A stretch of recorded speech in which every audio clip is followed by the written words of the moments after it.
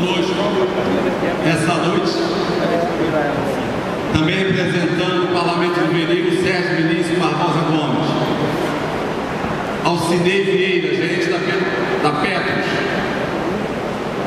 Sérgio Gianetti, diretor financeiro da Ponte Rio. Carlos Alberto, subtenente da Polícia Militar. Francisco Sérgio Oliveira, diretor de comunicação da Federação Segurança Pública de Nova Iguaçu. Jadir Batista de Araújo, diretor e coordenador do setor naval, Central Única dos Trabalhadores. Bem, amigos, mais uma vez, boa noite. Hoje realizamos a sessão solene pelo Dia da Baixada Fluminense, que é celebrada no dia 30 de abril. A data foi escolhida por ter sido neste dia, em 1854, em que foi inaugurada a primeira estrada de ferro construída no Brasil, que ligava o Porto de Mauá, estação Guia de Pacobaíba, à região de Fragoso, pé da Serra de Petrópolis.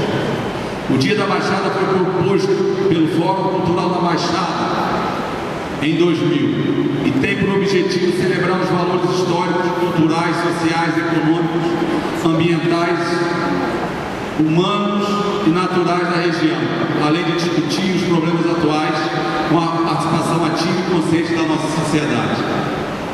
Mas acredito que, acima de tudo, tem como finalidade estimular o desenvolvimento da autoestima da população da Baixada, reconhecer suas virtudes, suas virtudes e as, e as boas práticas da nossa gente. Acredito que neste momento é muito importante realizar esse resgate, pois a mudança que nossa região tem passado tem trazido boas novidades, como por exemplo, novas indústrias para a Baixada, fruto dessa casa aqui na Assembleia Legislativa, onde com a lei de incentivo do ICMS reduziu para 2% do ICMS para alguns municípios da Baixada Fluminense e novos investimentos também no setor imobiliário. Mesmo com todas as dificuldades do momento, hoje temos, hoje, no dia de hoje, temos a inauguração do Shopping Nova Iguaçu, que teve investimento de mais de 400 milhões de reais. Por outro lado, também temos a identificação de alguns problemas históricos da Baixada, como a questão da mobilidade, de segurança, que tem que ser o mote principal nesse ano 2016, onde vamos renovar os executivos municipais. Falar muito de saúde pública, universal e gratuita, falar muito de educação pública de qualidade, para que a gente possa dar um caminho melhor para a nossa juventude. Algumas cidades, como o município de Japeri, onde tem caminhado, e onde a gente vê a realidade de cada família, de cada morador, da dificuldade, da falta do saneamento básico, da dificuldade da mobilidade urbana, do transporte público, da perspectiva do emprego. Então devemos celebrar o Dia da Baixada, mas também reconhecer que temos muitos problemas ainda a enfrentar. Baixada tem mais de 3 milhões e meio de habitantes e a gente diz sempre aqui, Zanardi, nossa querida, sofrida Baixada Fluminense.